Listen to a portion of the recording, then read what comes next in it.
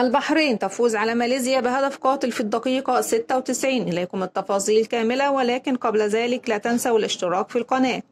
حقق منتخب البحرين فوزا مثيرا على نظير ماليزيا. في المواجهة التي جمعتهما في الجولة الثانية من منافسات بطولة كأس الأمم الأسيوية التي تستضيفها العاصمة القطرية الدوحة. وشهدت المباراة استحواذ متبادل للكرة بين الفريقين وفشل كل من المنتخبين في تسجيل أي هدف طوال الوقت الأصلي للمباراة.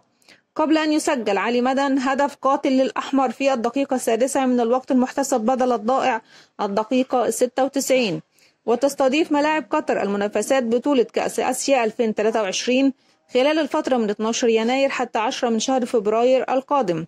ويقع المنتخب الأردني ونظيره الماليزي في المجموعة الخامسة بدور الأمم الأسيوية رفقة كل من منتخبي كوريا الجنوبية والأردن. وتلقى المنتخب البحريني الخسارة من نظير منتخب كوريا الجنوبية بثلاثة أهداف مقابل هدف وحيد في افتتاح البطولة. وأيضا خسر المنتخب الماليزي من منتخب الأردن برباعية نظيفة دون رد. وإلى هنا نكون وصلنا إلى نهاية خبرنا. دمتم في رعاية الله وأمنه. والسلام عليكم ورحمة الله وبركاته.